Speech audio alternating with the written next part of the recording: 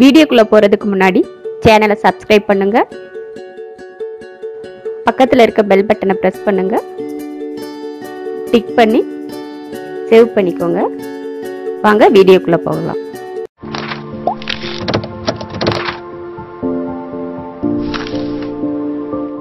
தீபாவளி ஸ்பெஷலாக கலகலா செய்ய போகிறோம் அதுக்கு கால் கிலோ மைதா மாவு எடுத்திருக்கோம். தேவையானது ஓமம் எடுத்திருக்கோம். அதில் ஒரு அரை ஸ்பூன் ஓமம் போட்டுக்கலாம். தேவையான அளவுக்கு உப்பு ஒரு ஸ்பூன் எண்ணெய் ஊற்றி மாவு பிசைஞ்சிக்கலாம். இப்போ எப்படி பிசைஞ்சு பொறிச்சு எடுக்கலாம் அப்படிங்கிறத பார்க்கலாம். ஓமம் ஒரு கால் ஸ்பூன் அளவு போட்டுக்கலாம். ஓமத்தோட மனம் பிடிக்கும்னா ஒரு அரை ஸ்பூன் கூட போட்டுக்கலாம். தேவையான அளவுக்கு உப்பு ஆயில் ஊற்றிக்கலாம்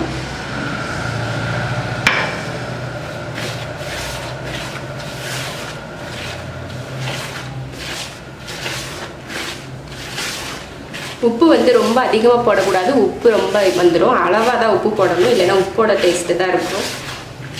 பிசைஞ்சிட்டு மைதா மாவு பச்சை தண்ணியில் பிசைகிறதுக்கு கொஞ்சம் முரடாக இருக்க மாதிரி இருக்கும். அதனால் லைட்டாக சுடு தண்ணி வெது வெதுப்பாக சூடு பண்ணி பிசையலாம்.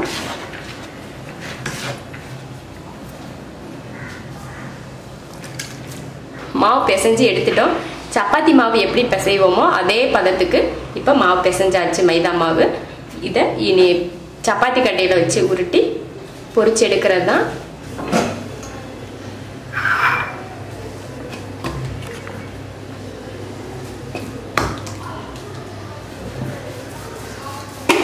சப்பாத்தி அளவுக்கு உருட்ட தேவையில்லை. கொஞ்சம் தடிமனாகவே உருட்டிக்கலாம். இந்த பதத்துக்கு நல்லா பரத்தி எடுத்திருக்கோம். இதை நம்ம கட் பண்ணி எடுக்கலாம்.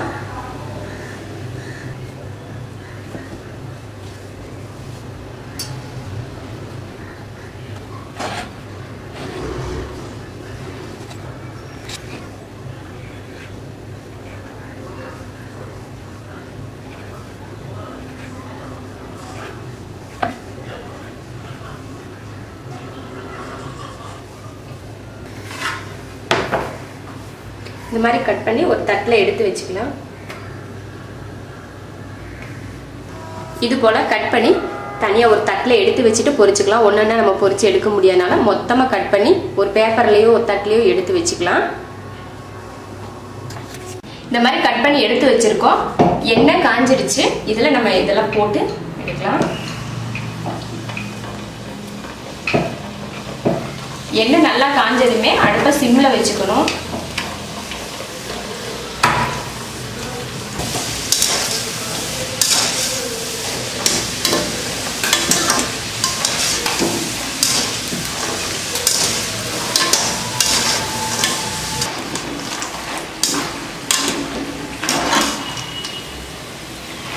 நல்லா பொரிஞ்சிருச்சு. நல்லா ப்ரௌன் கலராக வந்துருச்சு. இப்போ எடுத்துடலாம்.